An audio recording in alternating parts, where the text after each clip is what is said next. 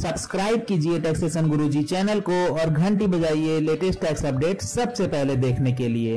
दोस्तों, आज का ये वीडियो हमारा अगेन आउटपुट टैक्स की डेफिनेशन के बारे में है, लेकिन ये डेफिनेशन सी जीएसटी एक्ट की नहीं है आई जीएसटी एक्ट की नहीं है और एस जीएसटी एक्ट की भी नहीं है। ये डेफिनेशन है सेक्शन टू क्लॉज सेवन में बताई गई डेफिनेशन वो भी यूटी जीएसटी एक्ट 2017 की।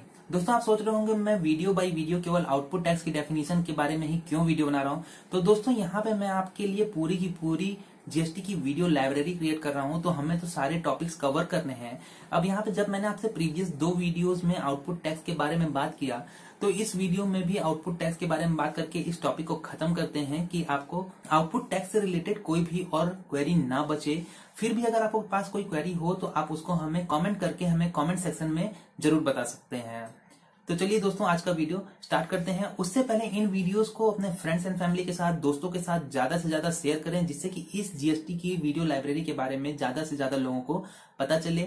और दोस्तों, इन वीडियो से रिलेटेड और जो टॉपिक्स हैं, जिनको ऑलरेडी हम लोग कवर कर चुके हैं तो उन वीडियोस के लिंक आपको वीडियो के डिस्क्रिप्शन बॉक्स में मिल जाएँगे, या तो ऊपर राइट साइड में आई बटन पे क्लिक करने पे मिल जाएँगे। नमस्कार दोस्तों, मैं विशाल बहुत बहुत स्वागत करता हूँ आपका, और आप देख रहे हैं टैक्सेशन गुरु तो चलिए दोस्तों, आज का वीडियो शुरू करते हैं। दोस्तों, इस डेफिनेशन को हम लोग कवर करेंगे मोस्टली कंपेयर करते हुए आईजीएसटी एक्ट में दी हुई डेफिनेशन के साथ, जिसको कि हमने लास्ट वीडियो में ही डिस्कस किया था। तो दोस्तों, ये आप देख रहे हैं, दोनों एक्ट में दी हुई डेफिनेशन तो पहले यूटी जीएसटी एक्ट वाली डेफिनेशन को पढ़ लेते हैं देन समझ लेते हैं। तो दोस्तों, यहाँ लिखा है section two clause seven of UT GST act output tax in relation to a taxable person means the union territory tax chargeable under this act on taxable supply of goods or taxable supply of services or taxable supply of goods or services both made by him or by his agent but excludes tax payable by him on reverse charge basis तो दोस्तों यहाँ simply लिखा है इस act में output tax का मतलब union territory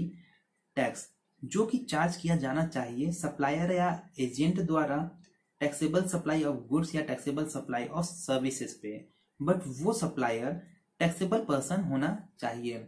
और जो भी अमाउंट वो टैक्सेबल पर्सन रिवर्स चार्ज में जीएसटी पोर्टल पे पेमेंट करेगा, वो उस टैक्सेबल पर्सन का आउटपुट टैक्स नहीं होगा, क्योंकि रिवर्स चार्ज में पी किया गया अमाउंट तो इनपुट टैक्स होता है as per the definition of input tax provided under section two clause sixty two of C GST act और दोस्तों, ये जो आउटपुट टैक्स होगा, ये टैक्सेबल पर्सन के रेफरेंस में ही होगा, यानी ऑलरेडी रजिस्टर्ड है वो, या लाइबल टू बी रजिस्टर्ड है, दोनों को ही हम लोग यहाँ पे टैक्सेबल पर्सन कहेंगे as per the definition of taxable person और टैक्सेबल पर्सन के रिलेशन में ही आउटपुट टैक्स हो सकता है। जब हम लोगों ने इनपुट टैक्स किया था तो वहाँ पे था इनपुट टैक्स केवल और केवल रजिस्टर्ड पर्सन के ही केस में हो सकता है।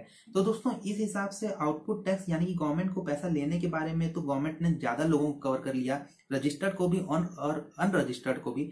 लेकिन इनपुट टैक्स देने की केस में केवल और केवल रजिस्टर्ड पर्सन को कवर किया अनरजिस्टर्ड को इनपुट टैक्स का क्रेडिट नहीं दिया जा रहा है। इसके बारे में दोस्तों, हमने output tax in C GST और output tax in I GST दोनों में ही बहुत ज़्यादा डिटेल में, विस्तार में बात किया है। लिंक आपको डिस्क्रिप्शन बॉक्स में मिल जाएँगे, आप वहाँ जाके उन वीडियोस को भी वॉच कर सकते हैं और डिटेल में जान सकते हैं। और अगला ध्यान देने वाला वर्ड है चार्जेबल यानी जो सही टैक्स इस एक्ट में चार्ज किया जाना चाहिए, उसे ही आउटपुट टैक्स बोलेंगे। जैसे किसी सप्लाई जो कि within the union territory हो रही हो। दोस्तों, अब जब हम लोग यहाँ पे यूनियन टेरिटरी एक्ट के हिसाब से आउटपुट टैक्स पढ़ रहे हैं तो यहाँ पे जो supplies within the union territory हो रही होंगी, जिसके ऊपर यूटी जीएसटी एक्ट चार्ज किया जाता है, उन्हीं को आउटपुट टैक्स बनाया जा सकता है एज पर दिस डेफिनेशन और जैसा कि मैं आपके साथ एग्जांपल ले रहा था, जैसे किसी सप्लाई जो कि विद इन यूनियन टेरिटरी हो रही हो, तभी तो यूनियन टेरिटरी यानी कि यूजीएसटी टैक्स चार्ज होगा।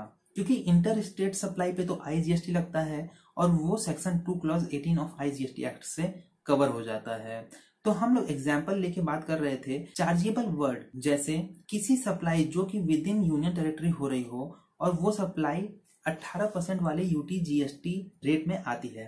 बट सप्लायर ने उस सप्लाई पे 28 परसेंट का UT GST plus C GST tax charge कर लिया एज आउटपुट टैक्स लाइबिलिटी तो इस केस में दोस्तों, लेकिन जब चार्ज 18 ही परसेंट करना चाहिए था तो एज पर द डेफिनेशन की जो चार्जिएबल वर्ड है, इसके हिसाब से उस टैक्सेबल पर्सन की जिसने 28 परसेंट टैक्स चार्ज कर लिया है, उसके जो आउटपुट टैक्स लाइबिलिटी होगी, वो केवल और केवल 18 परसेंट की ही बनेगी।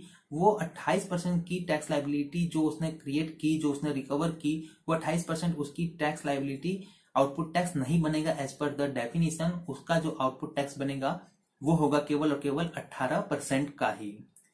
तो दोस्तों, ये थी डेफिनेशन जिसको कि हम लोगों ने ज़्यादा डिटेल में बात नहीं किया आउटपुट टैक्स की, जो कि यूटी जीएसटी एक्ट में दी हुई है, क्योंकि मैंने आपके साथ already output tax under the CGST act और आईजीएसटी एक्ट को काफ़ी डिटेल में बात किया था, इसीलिए मैंने यहाँ पे थोड़ा सा कटेल किया पॉइंट्स को, जिसको आप ऑलरेडी जान चुके हैं, और अगर अभी तक आपने उन वीडियोस को नहीं देखा है तो उनमें से आप किसी भी वीडियोस को देख सकते हैं, आपको वो सारी बातें पता चल जाएँगी।